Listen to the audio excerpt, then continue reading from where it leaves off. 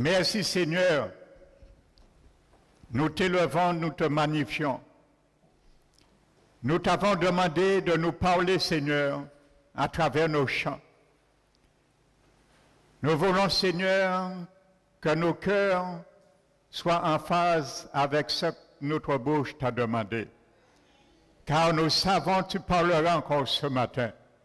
Et que ton option, Seigneur, tombe sur ma personne. Afin, Seigneur, que tu mettes ton langage par tes paroles, Seigneur, rempli de feu, que tu peux parler à chacun de nous. Merci, Seigneur, Esprit du Dieu vivant. Je m'appuie ce matin encore sur toi pour me conduire, Seigneur, dans ta volonté, Seigneur. Merci pour tout, Seigneur.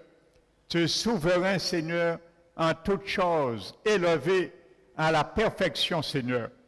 Et c'est toi, Seigneur, qui dirige, qui gère et qui exerce ta Seigneurie pleinement sur nos vies, notre esprit, notre âme et notre corps. Qu'il soit encore ainsi ce matin, Seigneur. Nous remettons toutes choses entre tes mains, Seigneur, et que ce lieu soit couvert, Seigneur, de ta présence, Seigneur. Ainsi, Seigneur, tous les lieux, ton nom sera invoqué ce matin. Nous te remercions, Père, et te donnons la gloire que tu es au nom de Jésus-Christ. Amen. Alléluia. Je vous salue, je vous bénis fraternellement dans le nom du Seigneur et particulièrement ceux qui nous visitent ce matin. Vous êtes à la bonne place, à la bonne heure et au bon moment. Alléluia. Ce que Jésus te demande, ne laisse aucune miette tomber ce matin et se gaspiller. Reçois tout ce qu'il te donne dans ton cœur. Alléluia. Merci Seigneur. Amen. Donc je vais continuer ce matin. Nous avions vu dimanche dernier le livre des actes des apôtres,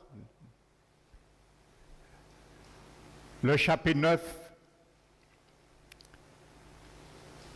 que lorsque Pierre est rentré dans la maison et il a ramené cette femme qui était morte, qui s'appelle Dorcas Tabitha,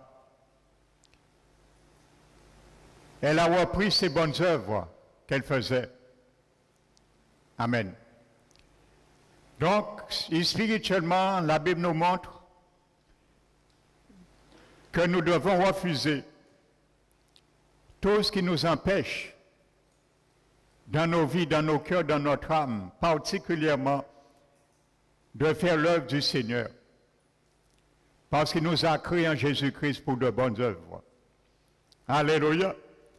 Il ne nous a pas créés en Jésus-Christ pour de mauvaises œuvres, mais pour de bonnes œuvres qu'il a préparées d'avance pour nous afin que nous les pratiquions. Alléluia. Donc je disais, parce que mon message ce matin, c'est toujours sur l'amertume. Alléluia. Et ce matin, que le Saint-Esprit va nous marteler par sa parole, à travers ce message, car sa parole est un marteau. Alléluia. Que ça fasse résonance, percussion dans tes pensées, dans ton âme ce matin. Alléluia. Donc, c'est pour venir maintenant. L'apôtre Pierre avait refusé ce qui est derrière lui, la mort. Et il a prié et ensuite, il a ramené cette femme à la vie. Alléluia. Donc pour ramener tes œuvres, voir tes œuvres, continuer dans ta vie, il faut savoir les ramener à la résurrection lorsqu'ils sont en train de faire une chute en déclin. Amen. Et je disais malheureusement, ce qui empêche beaucoup parmi le peuple de Dieu de faire les œuvres du Seigneur, parce qu'ils traînent derrière eux un passé Il faut arrêter de traîner le passé derrière toi. Le passé derrière toi, c'est un grand ennemi de tes œuvres. Le passé derrière toi, c'est un grand ennemi de ton âme. Ton passé derrière toi est un grand ennemi de ton avancement avec le Seigneur. Ton passé derrière toi est un grand ennemi de ta communion avec le Seigneur. Le passé derrière toi est un grand ennemi de la communion avec tes frères et sœurs dans l'Église. Donc fais comme Pierre, tourne-toi à cette situation. Alléluia. Amen. Refuse cette situation de traîner ton passé derrière toi. Alléluia. Et tu feras des espoirs. Amen.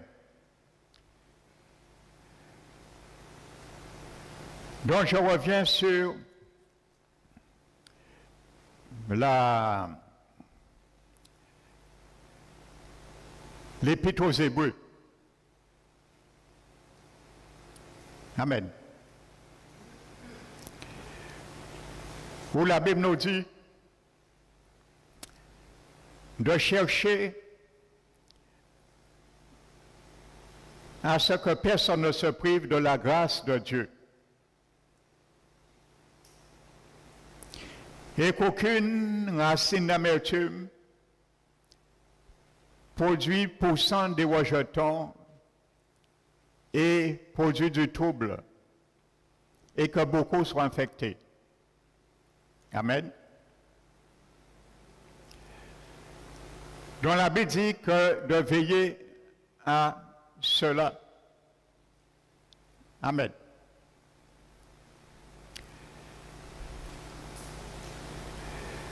Vous savez, la Bible nous dit, la grâce de Dieu, je disais, est un terrain favorable pour empêcher la croissance de toute racine d'amertume. Le terrain que je dois cultiver, le terrain tu dois cultiver afin de détruire toute souche, toute racine d'amertume, ce terrain s'appelle le terrain de la grâce. Alléluia. Parce que l'amertume ne peut pas produire et croître là, dans ce terrain. C'est pour ça l'Épître aux Hébreux nous dit de veiller, que personne ne se prive de la grâce de Dieu. Amen.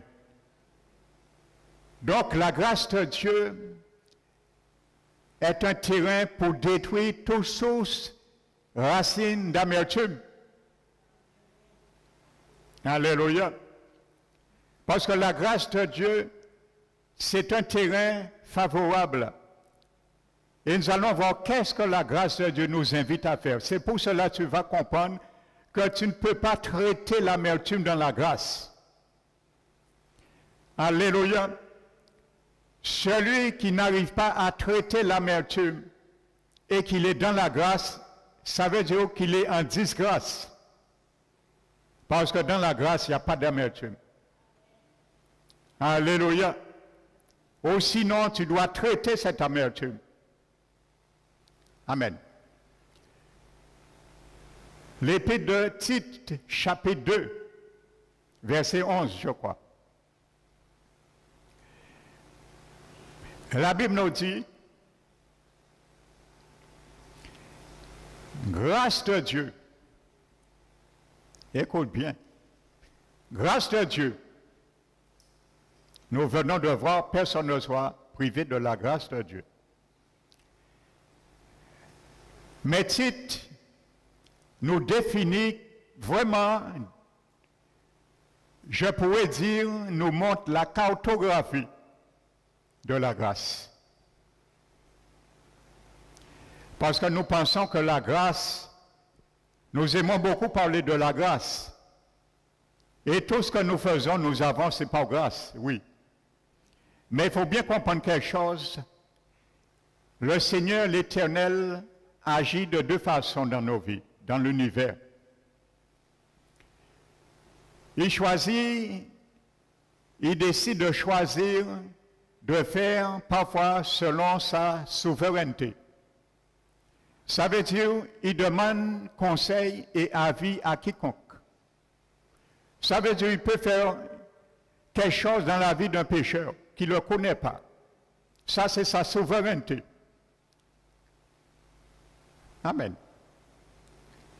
Mais quand Dieu parle de grâce, ça veut dire qu'il y a une promesse à retirer dans cette grâce par la foi. Quand la Bible parle de grâce, il parle de la foi. Amen. Donc, grâce de Dieu, source de salut pour tous les hommes. Ne dis pas sauf moi. Car si tu dis sauf moi, tu es dans un mauvais terrain. Et tu n'es pas dans le rang que Jésus a dit avant de distribuer le pain, de les mettre en rangée. Amen. Et il dit source de salut pour tous les hommes. Amen. Et ce mot salut est un mot générique. Amen. Il ne veut pas seulement dire la vie éternelle. Il veut dire beaucoup de choses. La restauration, la guérison, tout ce qu'on peut dire. Amen. Par Jésus-Christ. Mais elle nous invite et elle nous enseigne. Amen.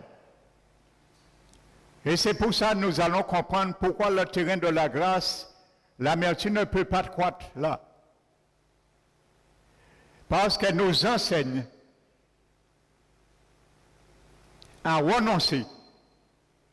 Amen.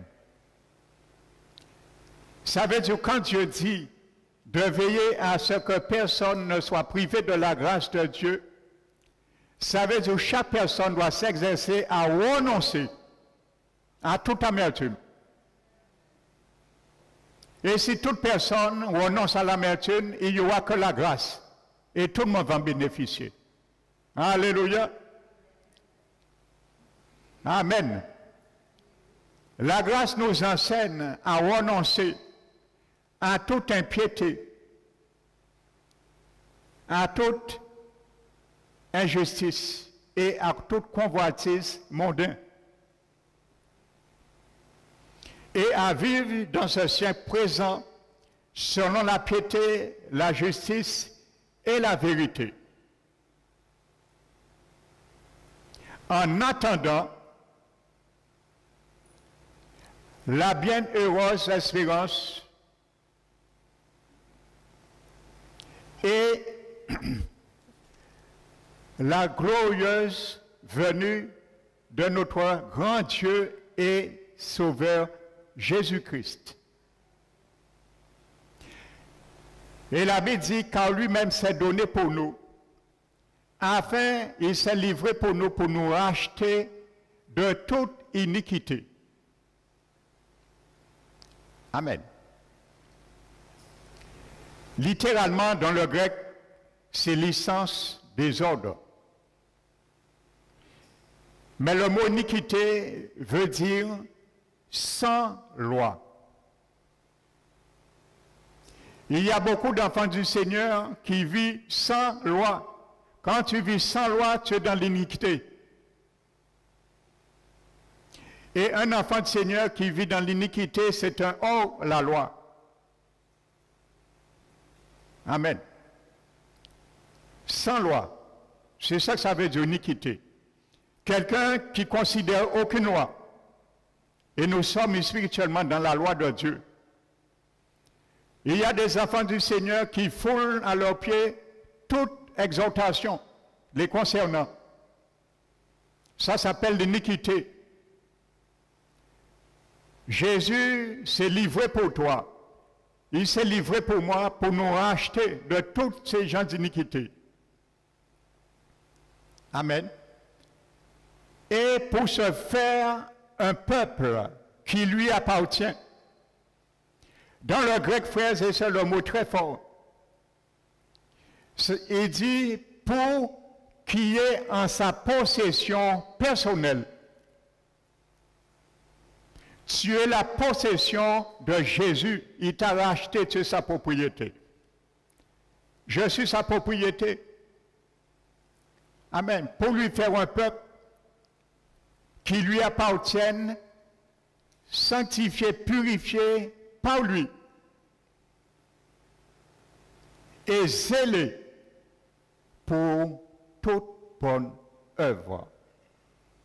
Alléluia. Donc si tu veux continuer à œuvrer comme Jésus le veut, il faut faire comme Pierre. Quand des situations t'empêchent de ressusciter ce qui t'empêche de faire tes bonnes œuvres, il faut aller chercher un Pierre. Il faut aller chercher Pierre. Qu'est-ce qu'ils ont fait à Jopé? Acte 9, la Bible dit qu'il se rappelait que Pierre l'apôtre n'était pas loin, il était à Lydde. Et on a été le chercher. Il faut aller chercher Pierre pour ressusciter tes bonnes œuvres. Allez, pourquoi je dis qu'il faut aller chercher Pierre? Parce que Pierre, dans la révélation de Matthieu, chapitre 16, Jésus l'avait dit, tu es Pierre. Petras. Petros plutôt en grec. Ça veut dire une pierre, une petite pierre, un petit caillou. Et c'est la révélation. Amen. La révélation. Il faut te rappeler, tu as été éclairé un jour, que tu es un petit caillou et tu es fondé sur Jésus, le rocher des siècles, le rocher de ton salut. Il faut te rappeler cela. Amen. il faut te rappeler, tu as pris un engagement avec lui. Alléluia. Donc c'est pour ça que je dis, il faut aller chercher Pierre. La révélation que tu as eue le premier jour où tu as accepté Jésus dans ta vie. Amen. Et avait dit ensuite, Tite, et dit, dis ces choses, exhorte. Alléluia dit ces choses, exhorte en toute, avec autorité, et que personne ne te juge. Vous savez, lorsque les serviteurs aiment dire la vérité, ils sont toujours jugés. Parce que ça dérange. Alléluia l'apôtre Paul a dit à Timothée, dis ces choses, rappelle, exhorte en toute justice, avec autorité, et que personne ne te méprise. Alléluia. Je le dis, parce que je sais de quoi je parle. Vous savez, dès la vérité dérange, on sera toujours méprisé. Mais on ne doit pas regarder à cela. C'est normal. Parce que si tu n'es pas méprisé quand tu dis la vérité, ça veut dire que l'ennemi serait de ton côté. Mais comme il n'est pas dans la vérité, c'est pour cela qu'il sera contre toi. Alléluia. Amen. Donc, frères et sœurs, la Bible nous dit, grâce à Dieu, source de salut, a été manifestée et nous enseigne à renoncer, à impiéter. Il faut renoncer donc si tu es dans la grâce de Dieu, il faut renoncer à l'amertume. Parce qu'il t'enseigne à renoncer à ça. Alléluia. Amen. Et c'est pour cela, le prophète Jérémie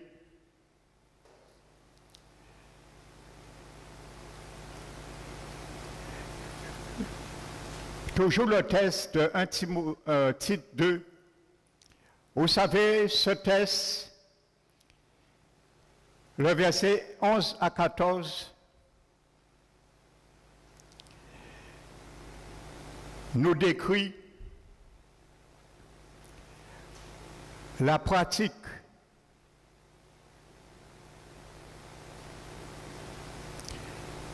la vraie pratique d'une vie chrétienne.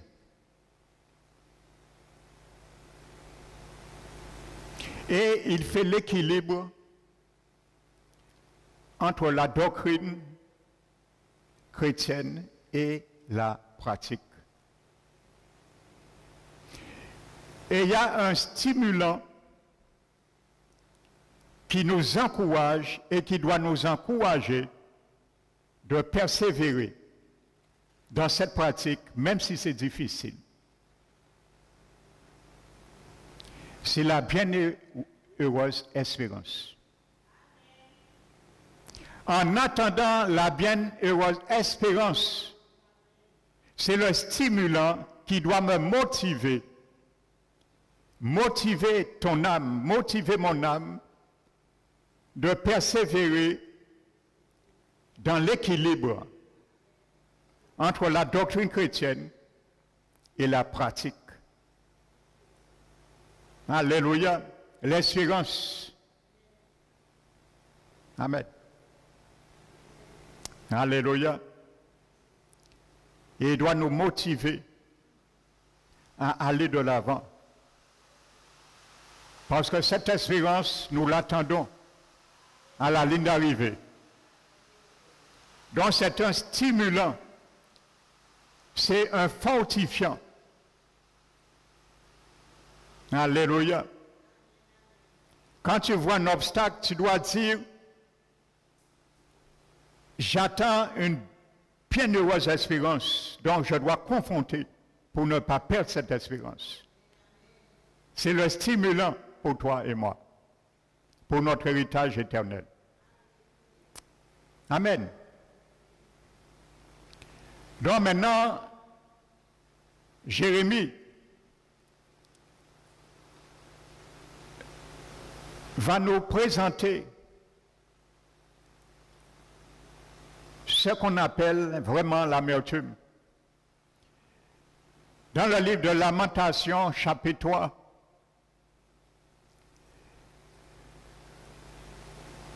Vous savez, un jour, à un moment donné, le prophète Jérémie, il était cassé.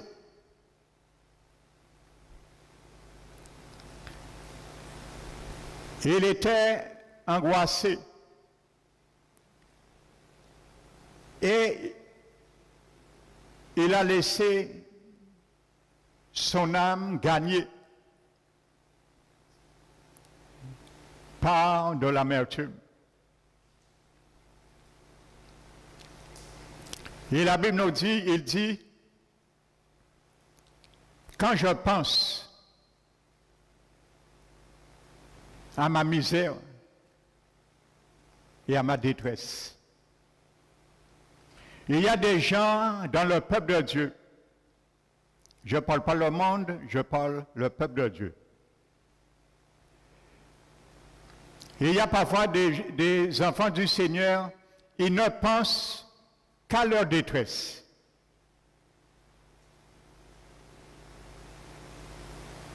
Ils ne pensent qu'à leur misère. Ils ne pensent qu'à ce qu'on les a fait. Mais ne pensent jamais ce qu'ils ont fait Jésus. Ce qu'on t'a fait, ce qu'on m'a fait, n'est même pas une goutte d'eau de ce que tu as fait Jésus. Et Jésus ne pense pas de la misère, tu l'as fait sur la croix. Jésus ne pense pas à toutes les détresses qu'il a subies pour toi, à cause de toi. Alors, si Jésus a fait de toi et moi un peuple, pour sa possession personnelle, il faut que tu sois purifié et zélé à tous égards pour de bonnes œuvres. Il faut te souvenir de cela. C'est le meilleur souvenir pour moi et toi. Ce que moi j'ai fait à Jésus. Et en retour, il n'a pas tenu compte de ce que moi je lui ai fait. Alléluia. Il m'a quand même aimé. Il m'a quand même sauvé. Il t'a quand même aimé, il t'a quand même sauvé. Voici le meilleur et le plus grand souvenir que tu dois avoir dans ton âme. Donc Jérémie commence à réfléchir à toutes ces choses négatives. Et il dit, quand je me pense à l'abstinence et au poison, je viens tout à l'heure sur l'abstinence parce que c'est ça que je vais développer ce matin avec toi. Mais sache que l'absinthe, c'était une plante particulièrement, vous allez voir, l'amertume, c'est dans la racine de cette plante. Et c'est pour cela nous avons vu que Deutéronome 29 et Hébreu 12 parlent de racine. Pas la branche d'amertume, pas le tronc d'amertume, mais la racine. Parce que l'absinthe, c'était la plante où elle était la plus amère, c'était dans ses racines.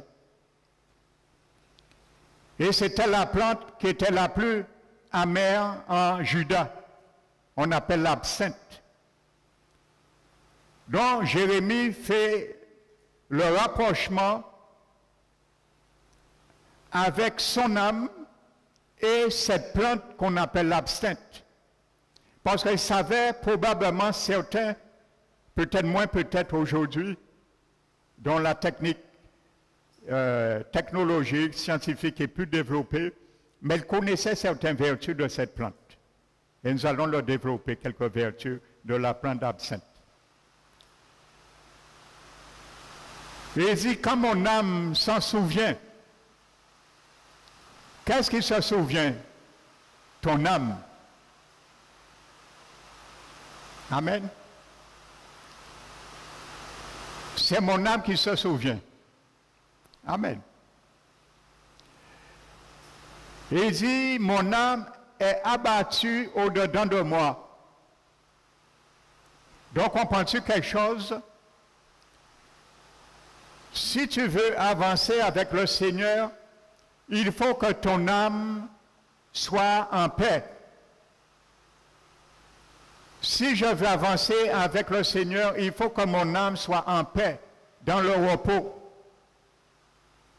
loin de toute agitation. Amen. Si nous voulons le Seigneur nous utilise, il faut que notre âme soit en paix. Et nous l'avons vu dimanche. Nous sommes attachés et Jésus ne peut pas nous utiliser parfois. Parce que notre âme est dans une prison.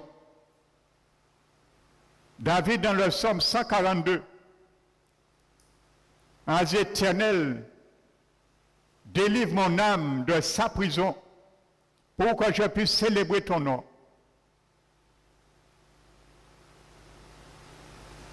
Tu peux chanter, tu peux lever les mains, tu peux te réjouir, ça ne veut pas dire que ton âme n'est pas dans une prison. Alléluia. Tu peux parler de l'évangile. Ça ne veut pas dire que ton âme n'est pas dans une prison. David a dit, Éternel, délivre mon âme de sa prison. Ton âme a sa prison. Mon âme a sa prison. Et la prison de ton âme n'est pas la prison de l'âme de ton frère et soeur.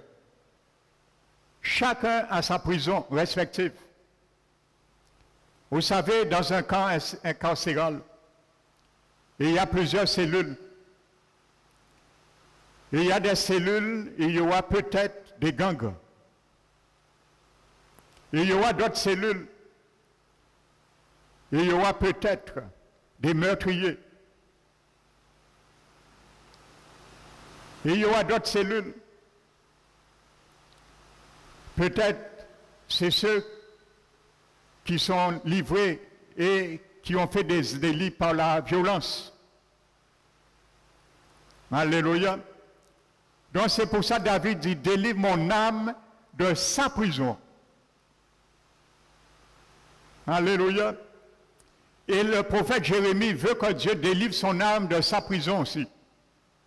Mais il cherche la clé. Et le Seigneur va lui donner la clé. Mon frère, ma soeur, si tu as besoin aujourd'hui, ton âme se délivre de sa prison, l'Éternel te donne la clé ce matin. Ouvre cette prison et retire ton âme et célèbre le Seigneur. Alléluia. La prison de l'amertume. Je te donne la clé ce matin pour ouvrir cette prison. Et quand tu seras dehors, tu vas célébrer le nom de Dieu mais pas à l'intérieur. Alléluia. Et il dit, quand mon âme s'en souvient, il est abattu dedans de moi. Mais voici la clé pour qu'il sorte dans cette prison. Et il dit, voici ce que je vais repasser dans mon cœur. Et qui me donnera de l'espérance. Alléluia. La bienheureuse espérance est le stimulant pour toi et moi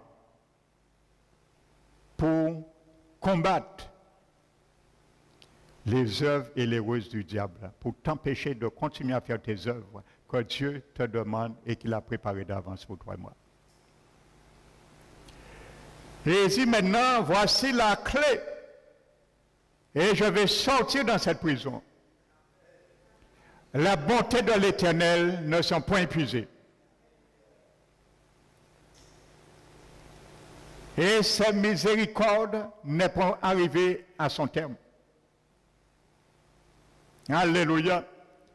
Et dit, tu les renouvelles chaque matin. Et éternel, que ta fidélité est grande. Alléluia. La fidélité de l'alliance de Dieu peut te retirer dans cette prison. Parce qu'il s'est livré pour toi et moi. Pour nous racheter de toute hors la loi. Donc si tu veux revenir à cette loi, de ne pas laisser des racines d'amertume il peut te donner la clé pour te sortir.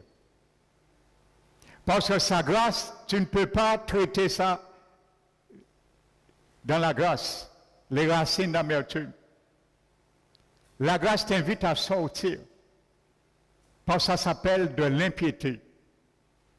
Elle nous enseigne à vivre dans ce siècle présent selon la piété, la justice et la vérité. Alléluia. Donc voici ce que le prophète Jérémie a fait. Alléluia.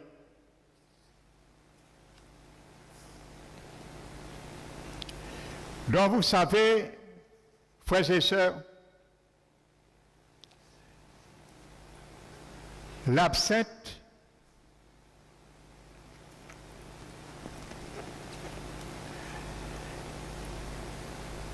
Il y avait, vous savez, il y a une déesse grecque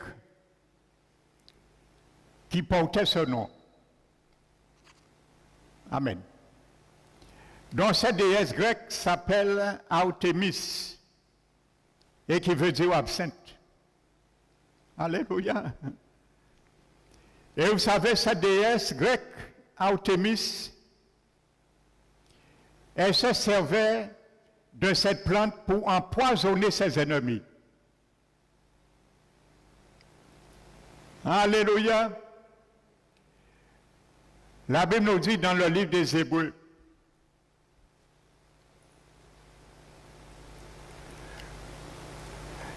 qu'il y a racine d'amertume, poussant des rejetons et causant du trouble, et que beaucoup soient infectés. Amen.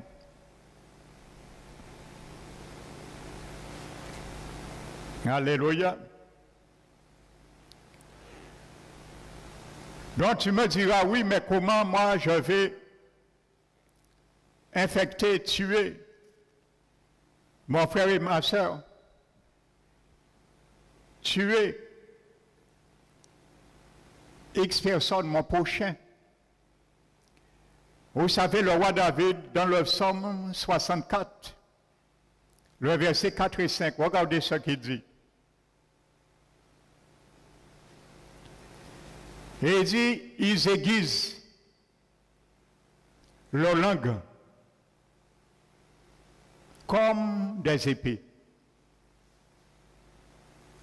Ta langue, ma langue, c'est une arme puissante, mortelle, destructeur. Parce que si on aiguise une langue comme une épée, c'est pour tuer. Nous sommes d'accord? Tu as une os, plutôt une épée. Tu aiguises cette épée, c'est pour quoi faire? Pour bien combattre et pour bien tuer, oui ou non? Amen. Ils aiguisent leur langue comme une épée.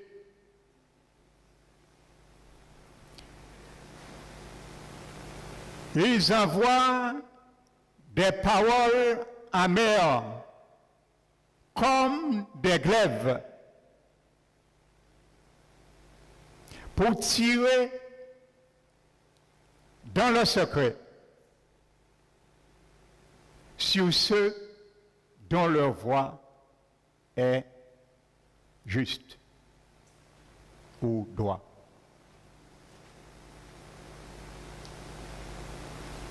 Amen. Donc tu peux tuer par ta langue.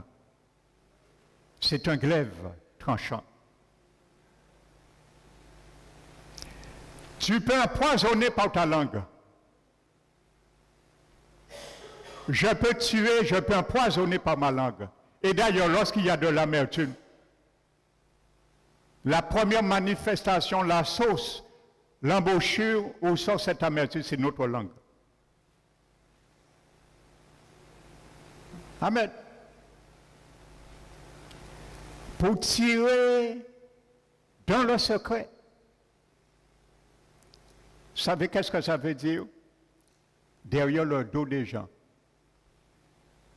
La calomnie, c'est un glaive qu'on tire sur toi dans le secret. Vous savez, calomnier quelqu'un, c'est révéler la vie de la personne, le secret de la personne. C'est ce qu'on appelle calomnier. Dans le secret. Mais les ailleurs dans la Bible, malheur à celui qui frappe son prochain dans le secret.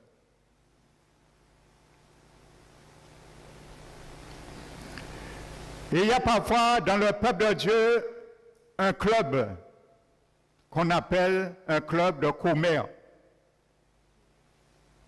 il faut que nous sachions ces choses parce que Jésus revient. Même si on méprise le pasteur Emmanuel, Paul a dit à Timothée, dis ces choses, exhorte, censure avec autorité et que personne ne te méprise. Parce que nous parlons de l'amertume, une racine mortelle. Afin que si tu es dedans, c'est la quatrième béquille, le titre de ce message pour ceux qui n'étaient pas là. Les quatre béquilles pour te relever. Et c'est la dernière béquille, l'amertume.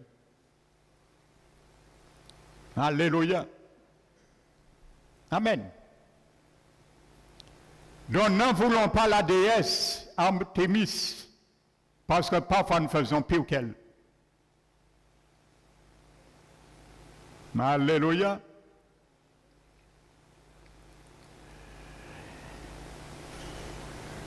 Donc je l'ai dit, c'est le psaume 64. Et vous savez, le roi David ne redoutait pas comme adversaire, comme ennemi, son prochain, ceux qui le persécutaient, ceux qui voulaient sa vie. Ce qu'il redoutait le plus, c'est la langue. C'est pour ça que vous allez voir. Presque tous les sommes de David, ils parlent de cela. C'est ce qu'il redoutait.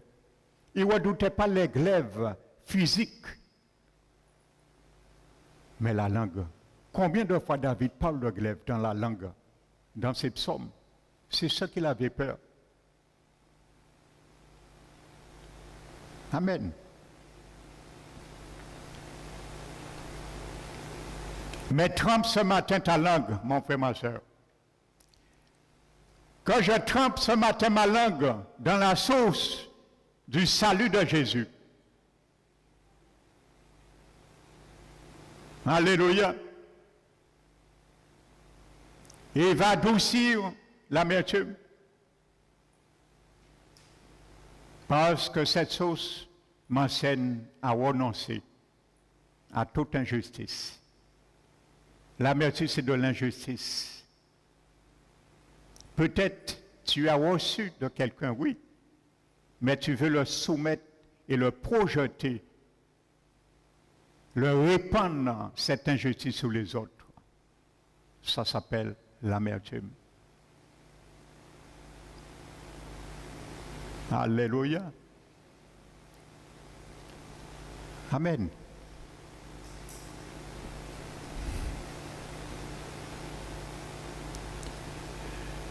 Dans cette plante, l'absinthe possède un principe amer. La plante. Ça possède un principe amer.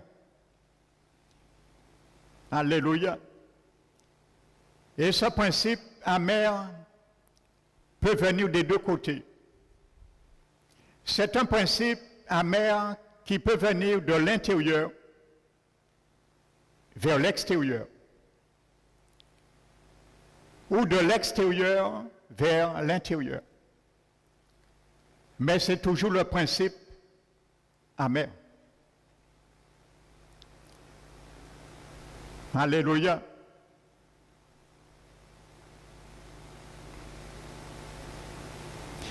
Si nous regardons Deutéronome 29, nous avons vu dimanche dernier,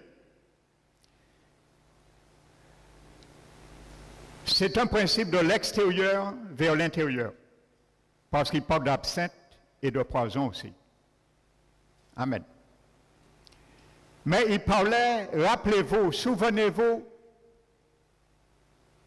que tous ces peuples que vous avez rencontrés, vous avez connus, vous avez vu la façon de célébrer leur Dieu, d'adorer leur Dieu. Leurs idoles en faisant du pierre, la paille, ainsi de suite. Dit qu'on ne trouve personne parmi vous qui puisse imiter ces nations faire de même.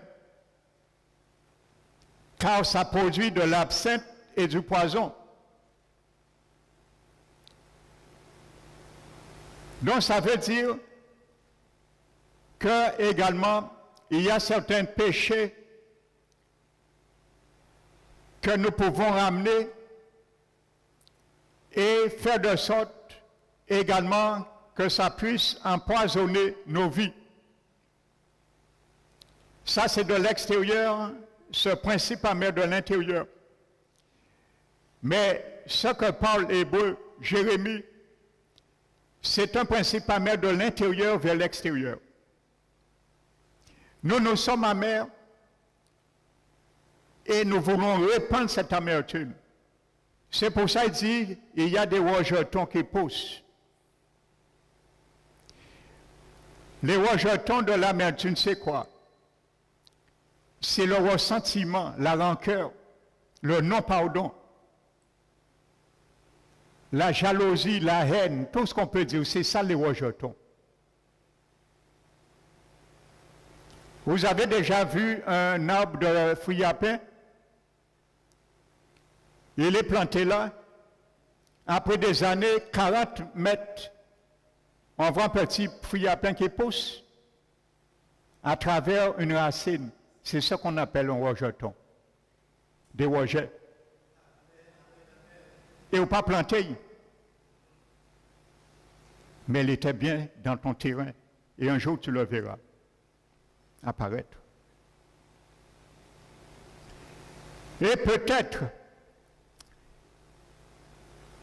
lorsque vous avez des voisins, il a un, arbre à pain, un fruit à pain, vous voyez la racine passe dans votre terrain et vous donne un pied de fruit à pain. Quand vous l'ayez planté, sans le planter, les racines du voisin qui a pénétré. C'est ça, beaucoup soient infectés. Amen. Donc c'est pour ça, parfois, il y a une qui est une personne, il va infecter une deuxième personne. il va infecter une troisième, ainsi de suite. Et ça amène un club maintenant dans l'Église. Ça amène un club dans l'Église. Et ce club s'appelle un club de destruction. Et ça détruit l'Église. Parce qu'on a dit sur une personne, mais la personne même qui est concernée n'a pas arrangé sa situation, ne voulait pas pardonner, ne voulait pas vivre selon la piété, la justice et la vérité, a infecté l'Église. Il a sélectionné plusieurs dans son conciliabule et il a fait un club de commerce. Alléluia. Et c'est ça qui arrive, frères et sœurs. Beaucoup sont infectés. Ce n'est pas le pasteur hein, qui doit veiller à cela. La Bible ne dit pas c'est le pasteur. Hein. La Bible dit c'est toi qui dois veiller à cela. Chacun de nous. C'est ta responsabilité de veiller sur ton frère, ta soeur, qui n'y ait pas ce rejet. Et comment ça se fait? Quand le frère, ta soeur vient te mal parler de quelqu'un, arrête-la. Arrête-le. Dis non, non, non, mon frère, ma soeur. Non, non, je ne veux pas entendre ça. Ne méprise pas ton frère. Ne méprise pas ta soeur. Parle-moi du bien d'elle. Parle-moi du bien de lui. Je ne veux pas rentrer dans ton conciliabule avec tes racines d'amertume. Va traiter cela dans la grâce du Seigneur. Et ça qui a arrêté. Diable qui dit, oh, oh, mais ça bon parti. En rate but là. Et qui est ailleurs. Alléluia. Nous continuons. Je continue. Le principe amer de l'absinthe s'appelle l'absintine. L'absintine, c'est le principe amer de la plante qu'on appelle l'absinthe. Ne vis pas avec l'absintine dans ta vie, mon frère, ma soeur. Ne vis pas avec l'absintine dans ton âme que je ne vive point avec l'âme saintine dans mon âme. Si tu l'as fait jusqu'à aujourd'hui, à l'année 2021, refuse-le aujourd'hui, afin que l'année 2022 s'achève sans absintine. Alléluia. Remplace l'absintine par la grâce de Dieu. Et il va noyer l'absintine. La grâce est là pour noyer cela. Alléluia. Amen.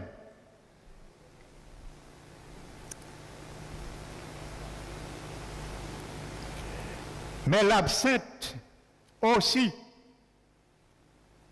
peut être et est un ami du jardinier. Comment?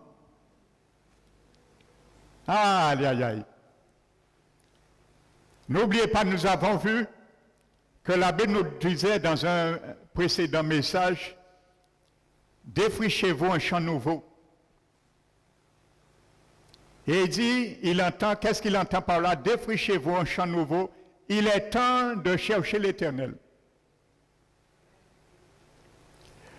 Alléluia. Et je disais dans ce message, dans cette prédication, que pour défricher un terrain, c'est remuer la terre. il y a des choses qu'on ne va jamais voir. Quand je débroussaille mon terrain, je vois bien ce qui est superficiel, ce que je dois couper. Mais ce qui est caché, je ne le vois pas. Donc, il faut autres yeux que mes yeux naturels pour voir ce qui est caché dessous la terre. Et je disais, les yeux pour lesquels nous devons voir, c'est la fouche. Parce que la fouche, ce sont les yeux de la fouche qui nous permettent de voir ce qui est caché en dessous la terre. Dans la fouche, ce sont deux yeux. Alléluia. Dans les circonstances atténuantes, la parole de Dieu, ce sont les yeux de la, la fauche qui nous permettent de voir ce qui est caché en défrichant le terrain. Amen. Donc ça peut être un ami du jardinier. Comment Ce qu'on appelle le purin d'absinthe. Le purin, c'est un liquide qui s'écoule du fumier, comme de l'engrais. Amen. Et n'oubliez pas, Jésus avait donné une parabole il avait dit que il y a un homme qui est parti, il a laissé sa vigne aux soins d'un serviteur. Et après trois ans, il voit que la vigne est stérile, il ne porte pas. Alors, Jésus nous dit, le maître de la vigne vient, il dit à ce serviteur, coupe cette vigne, parce qu'elle est stérile. Trop longtemps qu'elle est dans le terrain, elle ne porte pas. Coupe-la. Et ce serviteur dit, ce vigneron dit à son maître, attends un petit peu encore. Patiente un petit peu encore, je vais mettre du fumier. Et qui sait, il va porter. Donc ça peut être du fumier pour toi et moi, quand tu le traites comme il faut.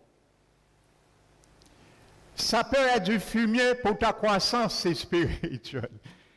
Ça peut être du fumier pour ma croissance spirituelle, le purin de l'absinthe. Alléluia. Lorsqu'elle n'est pas perdue, lorsque la parole n'est pas prise en vain. Comme il dit que nous puissions point point la grâce de Dieu en vain. Amen. Dans ce purin, possède des propriétés insectifuges. Ça veut dire qu'il repousse les femelles pondeuses de pierrides, ce qu'on appelle des gens de chenilles. On les appelle des pierrides. Dans les choux, par exemple, vous avez déjà vu des choux qui sont euh, toués. Eh bien, c'est ça, c'est ces chenilles des pierrides. Eh bien, l'absinthe a une propriété insectifuge qui repousse ses femelles pondeuses. Alléluia. Il faut savoir utiliser l'absinthe, ton amertume passée. Ce qui t'a fait du mal, ce qui t'a fait du tort, ce qui m'a fait du tort, du mal, deviennent le purin pour moi et toi. Afin que les circonstances atténuantes, car nous allons, voir le périple de l'amertume, les conséquences Lorsque nous avons vécu, nous avons vu notre malheur, notre désarroi comme Jérémie. Nous devons un jour nous dire comme Jérémie, est-ce qu'un qui était toute vie en moi, en vouloir, c'est moi? Est-ce qu'un qui vouloir, toute vie en moi, vouloir faire moi? Faut m'arrêter là. Parce que Dieu ne m'a pas appelé pour ça. Le Seigneur nous a appelés pour la paix. Est-ce que chaque année, en qui passé à côté de celle-là sans dire bonjour, moi éviter, faut ni là, faut m'arrêter ça. C'est ça qui me donnera de l'espérance. Jérémie, à un moment donné, avait marre de ça et changé fusil épaules. Eh bien ça, tu vas utiliser le bon côté de ce qui t'est arrivé pour traiter maintenant dans ta vie contre toutes les pérides qui vont essayer de semer dans les choux de ta croissance spirituelle. Tu vas utiliser ce qui est arrivé pour faire bon usage.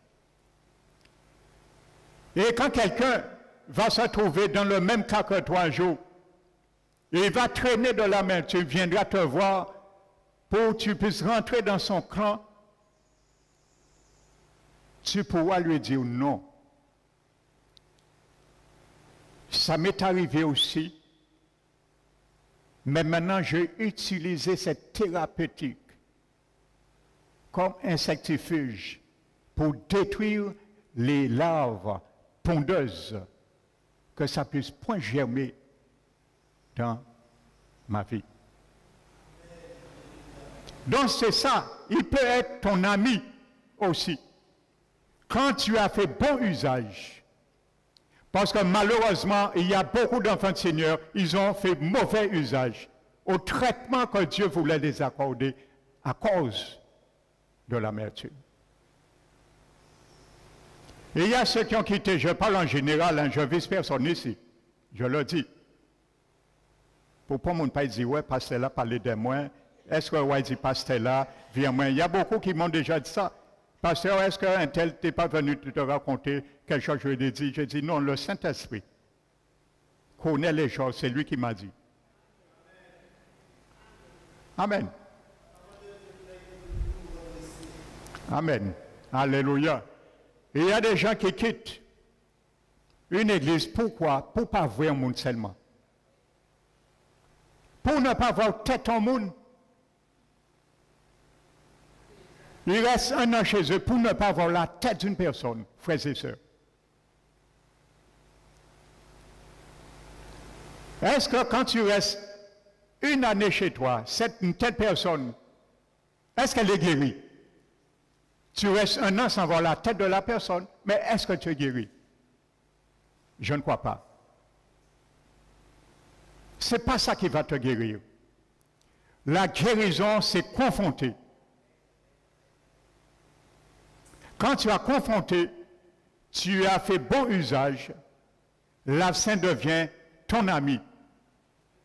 Parce que demain, tu vas utiliser le purin pour détruire ou repousser toute pyride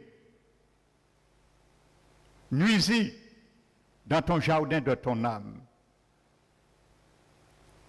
Et dorénavant, ne pourront plus te faire te rappeler que ce qu'on a fait traîner ce qu'on t'a fait. Mais refuser cela.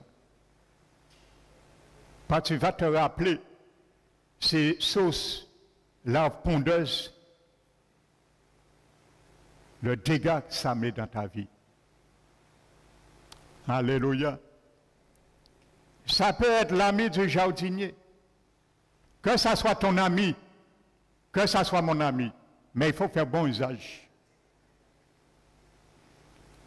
Regardez toute épreuve comme un sujet de joie complète. Parce que parfois, vous savez, il y a des choses qui sont là, qui sont racinées en nous, Nous ne le savons pas. Et c'est pour ça Dieu permet parfois ces rejets que manifestement nous les voyons. Nous disons, ah, ça c'est moi. Je ne savais pas. Tu te reproduis un petit toi. Tu te reproduis un petit toi. Pas toi de la maison, toi. Tu dis ça, c'est moi? Seigneur, c'est vrai? Ah non, il faut que je traite ça. Hein?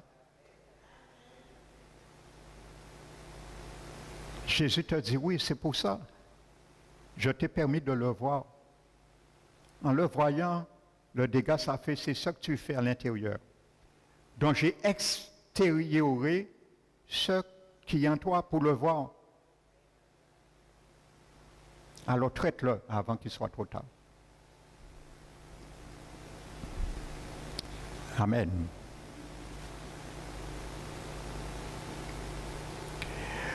Il y a aussi, ça possède, l'absent possède des propriétés de fongicides aussi. Ça veut dire détruire les champignons. Surtout ce, qu'on appelle la rouille des groseilliers. Donc pour ceux qui prennent les groseilles. La rouille. Effectivement, le groseille est atteint beaucoup par ces gens de champignons. Je le sais parce que mon fils, il prend beaucoup de groseilles dans notre terrain et je le vois. Donc c'est une réalité. Donc l'absinthe est bon pour cela, un fongicide. Pour détruire les champignons. Amen, frères et sœurs. Donc ça rentre dans la même catégorie. Amen. Lorsque nous commençons à affecter, affectons ce qui nous affecte. Traitons la chose avant qu'il nous submerge. Traiter, détruire les champignons. Avant qu'il aille trop loin et nous infecter. Vous savez, quand le roi David est venu devant Goliath, La Bible nous dit, il n'a pas laissé Goliath s'approcher de lui. David est venu, il s'est précipité vers Goliath, il l'a frappé. Ne laisse pas les champignons s'approcher de toi, cours et frappe-les avant qu'ils viennent. Alléluia. Offense. Alléluia. Il n'a pas attendu Goliath venir vers lui. Il est précipité, il a frappé Goliath. Ne laisse pas les choses rentrer en toi. Traite-les à la base, frères et sœurs. Traite-les à la base. Lorsque l'amertume veut faire venir en toi, permets qu'il fasse tapis à la porte de ton âme. C'est ce que Dieu avait dit à Caïn. Il dit, la colère se couche à la porte de ton cœur. Domine sur lui sur elle. Autrement, il dominera sur toi. Détruis les champignons. Ceux qui s'approchent de toi pour infecter ton âme, pour infecter mon âme. Détruis-les. Une mauvaise parole, détruis ces paroles. Refuse ces paroles. Amen. Alléluia. On continue. Ah, beaucoup j'avais abandonné pour cela. On continue. On continue.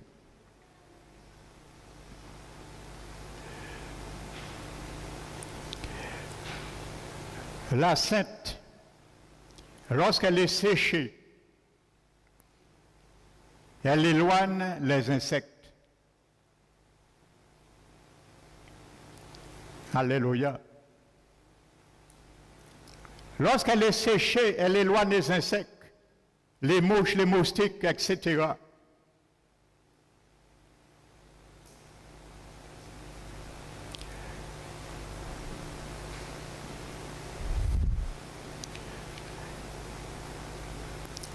Vous savez, quand quelqu'un a réussi à surmonter son amertume ou ses amertumes, ça veut dire c'est séché. C'est une feuille d'absinthe séchée.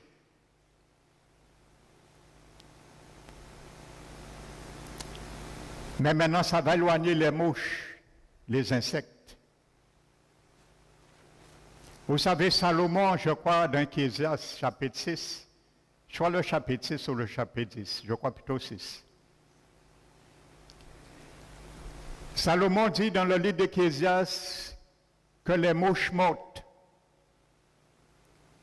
infectent et font fermenter l'huile du parfumeur. Et dit un peu de folie remplace la sagesse.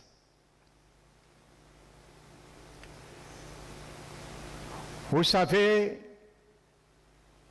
on avait accusé Jésus un jour de prêcher et de faire de la et de guérir au nom de Belzébuth. Vous savez, en hébreu, Belzébul veut dire Seigneur des mouches. Et les mouches, ce sont les démons. La scène desséchée, séchée, repose les mouches.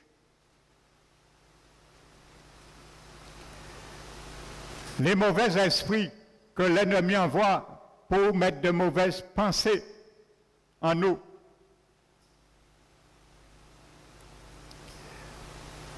Quand tu es immunisé, ça veut dire que ton amertume, tu l'as traîné un certain temps, tu as pu l'immuniser, te défaire finalement, et pardonner, et passer l'éponge. Tourner la page. C'est ça l'absinthe desséché, séché. Maintenant, il devient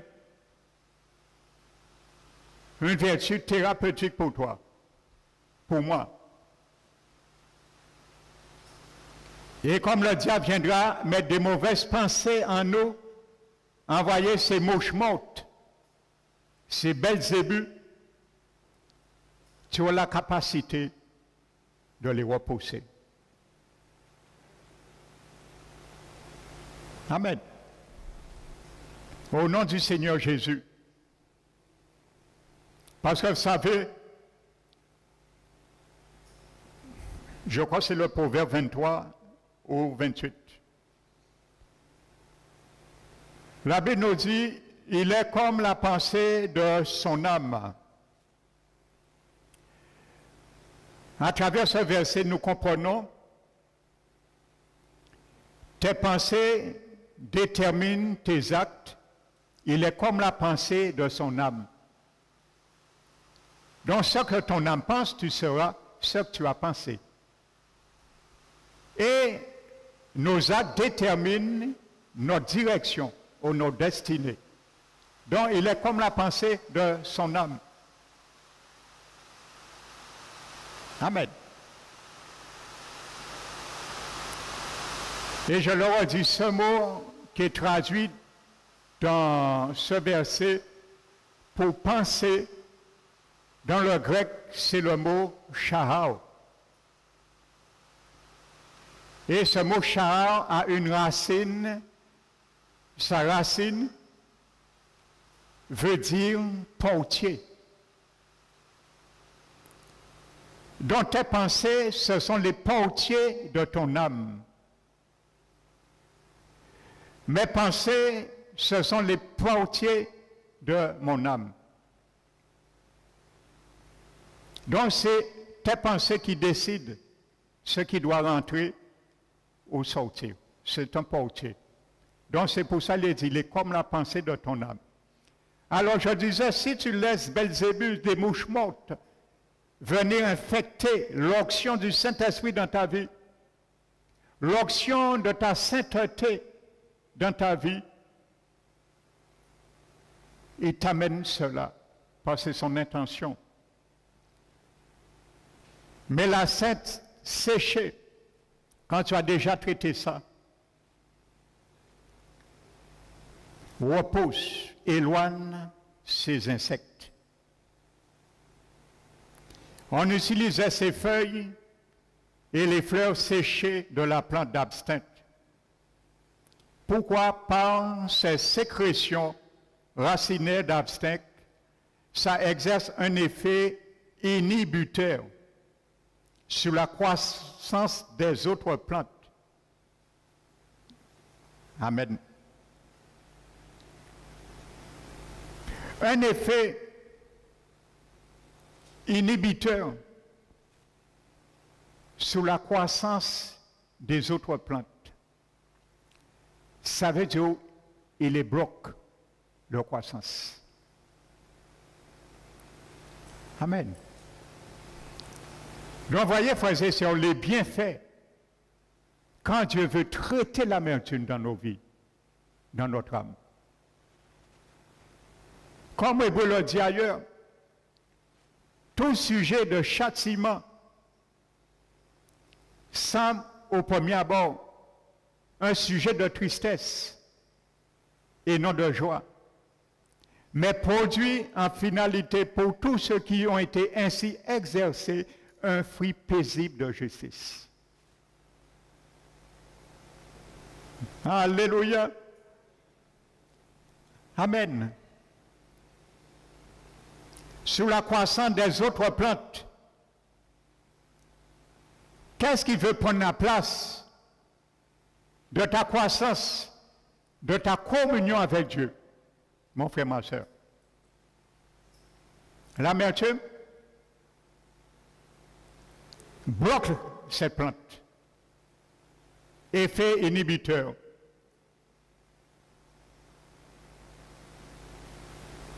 Bloque la croissance de cette plante. Bloque là.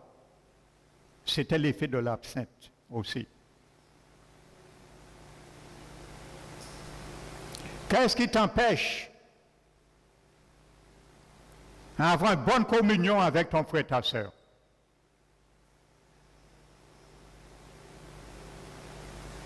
Un malentendu?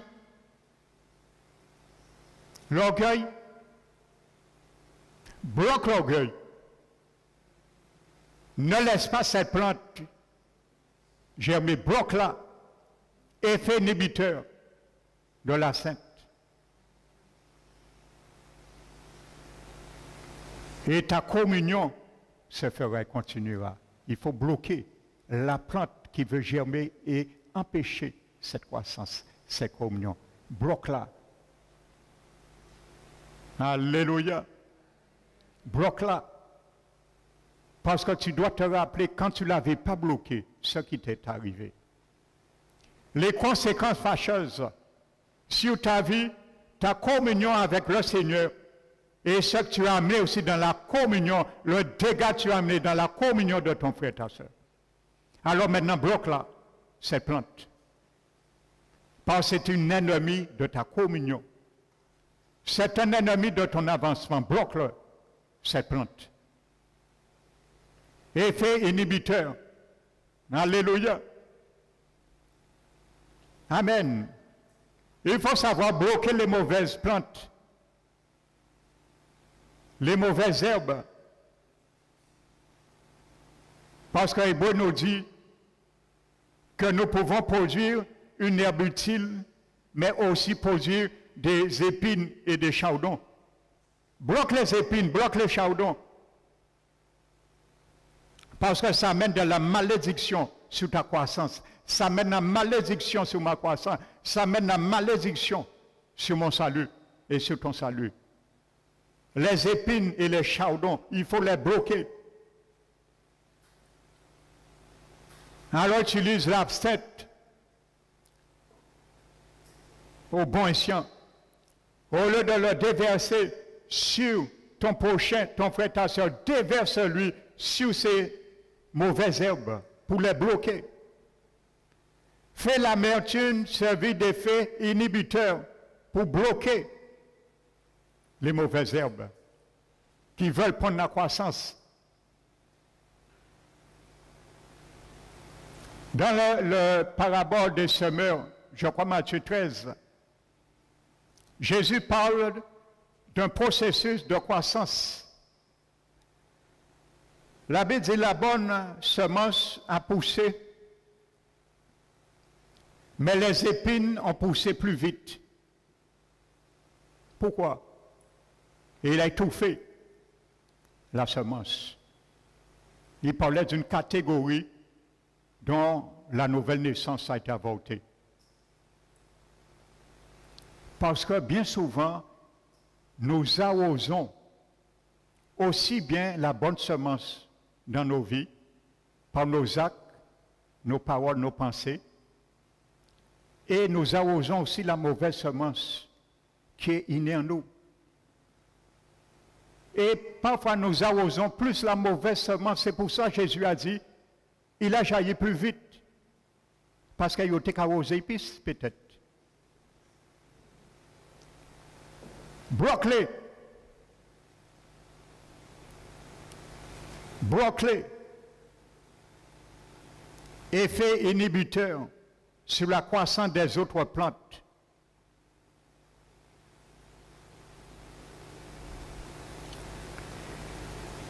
Et cet effet aussi par la sécrétion racinaire. La sécrétion racinaire. Amen.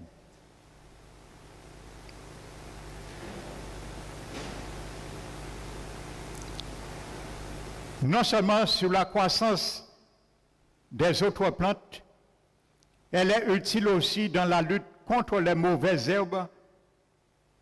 Amen ou adventiste, pas adventiste, hein? adventiste, adventiste. Ça veut dire qui pousse sans avoir semé. On appelle ça des herbes adventistes. Ce sont des mauvaises herbes qui poussent sans les semer. Donc ce sont des herbes que Jésus n'a pas semées dans nos vies. Et Jésus a dit dans les évangiles, ce que mon Père n'a pas semé sera déraciné. Alors ce que Jésus n'a pas semé, il faut les déraciner.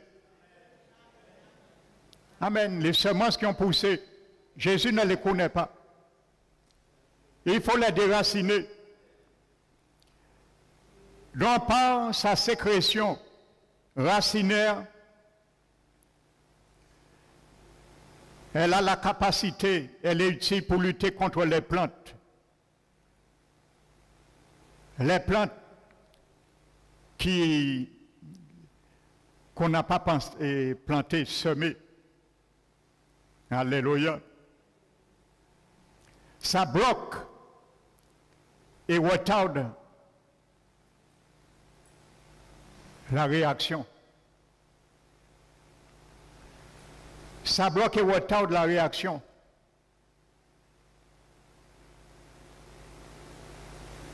Amen.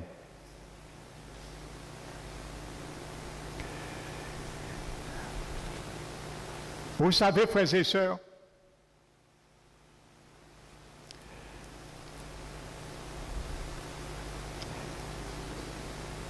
ce que je vais vous dire instamment là, je ne l'avais pas préparé, je l'ai reçu ce matin ici, sur la chair. Vous savez, l'Esprit Saint est merveilleux. Et c'est une révélation, je vais détailler avec vous sur cela.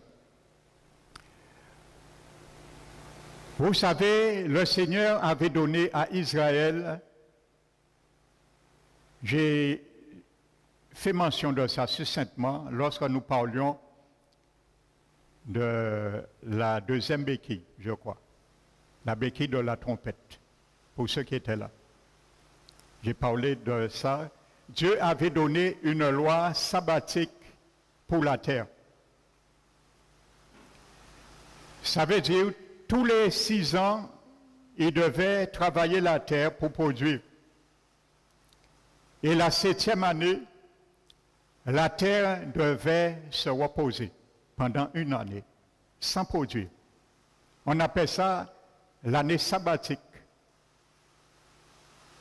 Amen.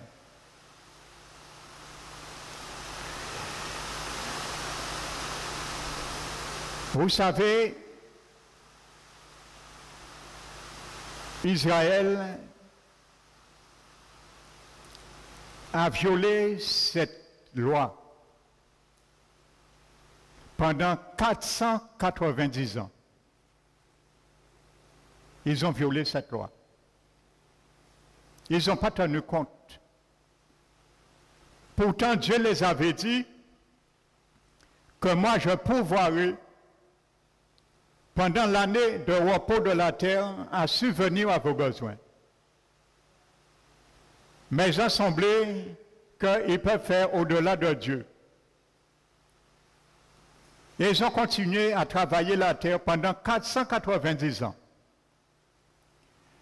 Si vous lisez, vous étudiez, vous allez voir, c'est depuis de la mort du roi David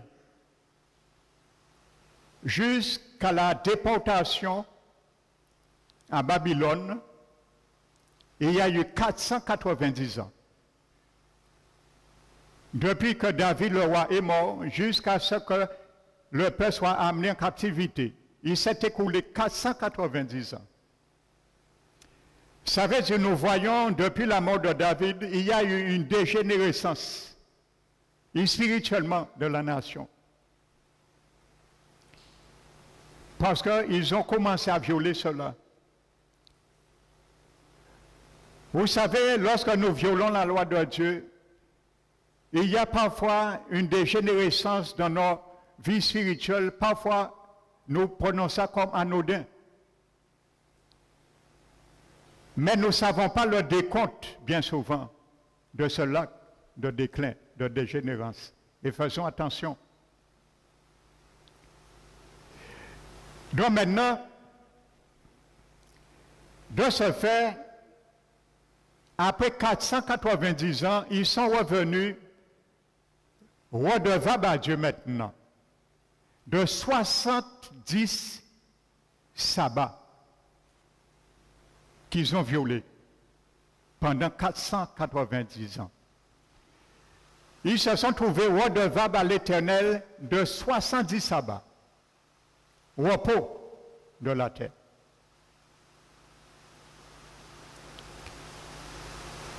pour que les sabbats de repos de la terre qui n'ont pas mis en zachère, maintenant le Seigneur va les demander compte. Et comme il devait 70 années de sabbat à l'Éternel, le Seigneur va les déporter à Babylone pendant 70 années pour faire l'équilibre dans la balance. Amen. Nous avons vu Tite chapitre 2. Je vous disais le verset 11 à 14 fait l'équilibre entre la doctrine chrétienne et la mise en pratique. Vous savez, la Bible dit que la balance fausse est en Noël pour l'éternel. Mais le poids du juste est agréable à Dieu. Le Seigneur est un Dieu qui nivelle nos vies. Il les met à niveau. Et bien souvent, lorsqu'il prend son niveau pour niveler nos vies, il y a beaucoup de dégâts qui ont déjà fait. Ça a été le cas d'Israël. Et la Bible nous dit, étant redevable de 70 sabbats l'éternel maintenant, le Seigneur va les ramener en déportation. Pendant ces 70 années d'absence, vous allez voir, il y a eu des nomades. Écoute bien parce que je viens sur un langage spirituel tout à l'heure. il y a eu des nomades qui ont séjourné parmi à Jérusalem, qui a été détruit, brûlé, le temple également. Il y a eu des pilleurs qui ont séjourné pendant leur absence. Et il y a eu aussi des escroiteurs qui sont venus planter pour produire de la végétale. Mais la Bible nous dit, rien ne produisit. Amen. Rien ne produisit. Pendant tout ce temps qu'ils étaient déportés, c'était pour permettre à la ville, la terre,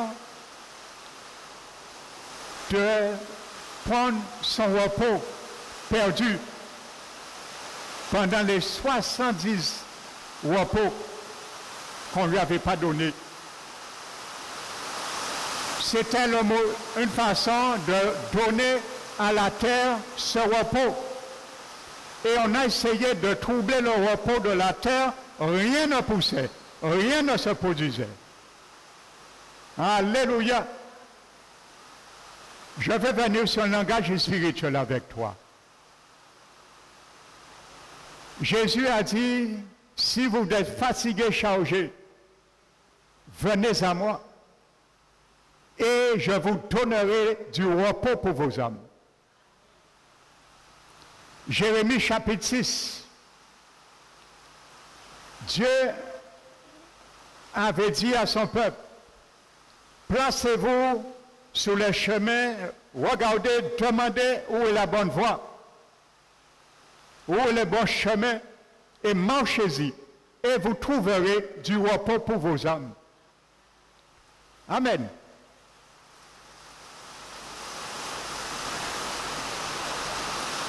Si tu veux que ton âme retrouve du repos, mon frère, ma soeur, il faut que personne ne puisse planter, produire, récolter sur ton âme qui vient de l'amertume.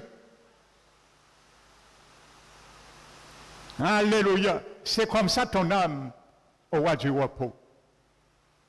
Amen. Et la Bible nous dit que ce récit se trouve dans Jérémie chapitre dans deux chroniques plutôt, le chapitre 36. Deux chroniques, chapitre 36. La Bible dit que Dieu a dit Nebuchadnezzar, le roi Babylone, va vous déporter à Babylone, qui sont ceux et celles qui ont été déportés? L'abbé dit, ce sont ceux et celles qui sont passés, qui ont été épargnés de l'épée. Amen. De l'épée. Parce que ils ont été détruits, le feu, ils ont tué beaucoup d'habitants par l'épée. Les rescapés qui sont passés loin de l'épée, qui ont été sauvés, ce sont ceux-là. La Bible dit, il va les emporter à Babylone. Tous ceux qui ont échappé à l'épée, Et la Bible dit, ils seront assujettis jusqu'au royaume, jusqu'à la domination du royaume de Perse. Amen.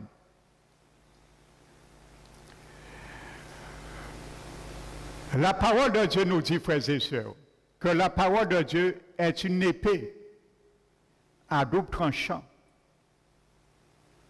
Et la parole de Dieu nous dit que toute écriture est inspirée de Dieu, utile pour convaincre, pour corriger, pour instruire dans la justice, afin que l'homme de Dieu soit accompli en toute bonne œuvre. Ceux et celles qui sont passés à travers l'épée, il y a une bonne nouvelle pour toi et moi, et c'est ça que l'Esprit m'a inspiré ce matin. Quand tu veux échapper à la parole de Dieu qui te dit, nous sommes sur l'amertume, de traiter l'amertume, tu veux échapper à l'épée de Dieu, de la parole, voici ce qui nous arrive également. Il va déporter notre âme pour être assujetti, pour prendre notre leçon. Jusqu'à la domination du royaume de Perse. Qui est-ce qui domine sur notre vie? Qui domine sur ta vie? Qui domine sur ton âme? Qui domine sur mon âme? N'est-ce pas le Seigneur Jésus?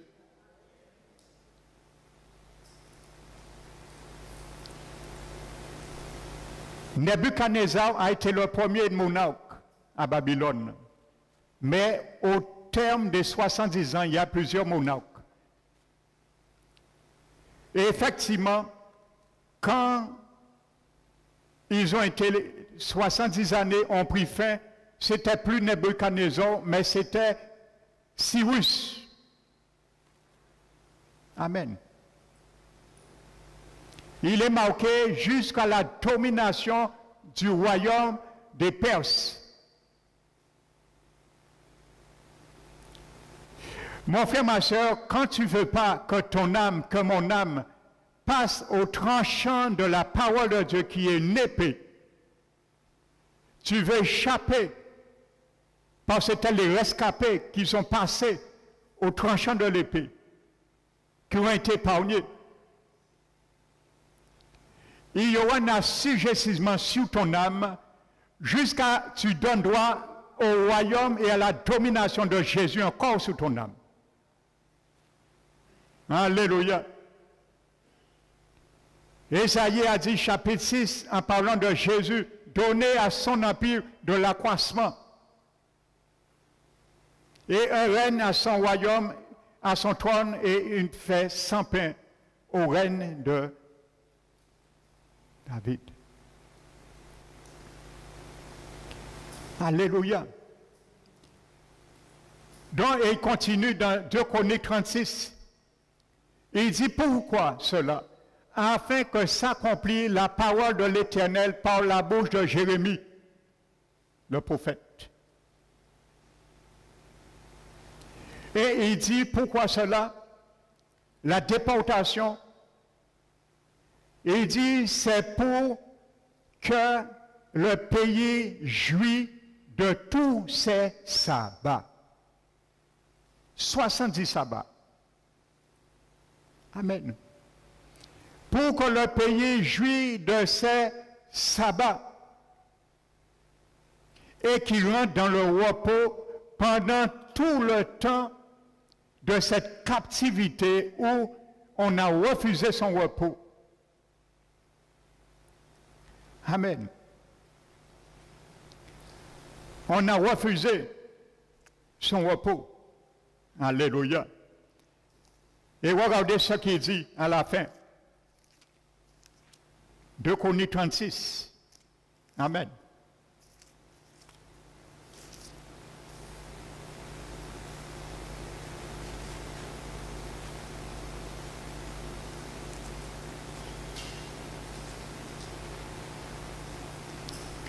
Il se reposera, verset 21, tout le temps qui fut dévasté jusqu'à l'accomplissement de 70 ans.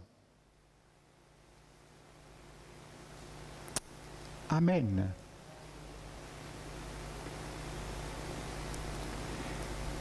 Quand ton âme refuse de passer au tranchant de la parole de Dieu qui est une épée,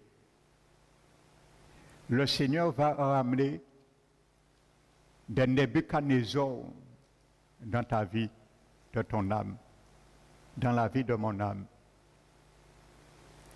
Pour respecter le repos qu'il veut donner à notre âme. Le repos, le sabbat, repos, sabbat veut dire repos. Le repos qu'il veut donner à notre âme. Mais ce repos, c'est recevoir les instructions de Jésus. Quand il t'a dit pardonne, il veut le repos pour ton âme. Quand il t'a dit arrête l'amertume, il veut le repos pour ton âme. Si tu veux échapper au tranchant de cette parole, l'épée, tu seras sujetti ton âme par les douleurs, par les par les malheurs, par tout ce qu'on peut dire. Pour que tu comprennes un jour, jusqu'au jour que Jésus, tu dois lui redonner le trône de ton âme. Jusqu'au jour de la domination de l'empire perse, du royaume perse. Mais Jésus, c'est ton roi. Jusqu'au jour où tu vas admettre que tu l'as retiré le droit légal sur toi et tu dois l'accepter pour qu'il reprenne la place. Autrement, tu vas perdurer dans l'assujettissement. Amen.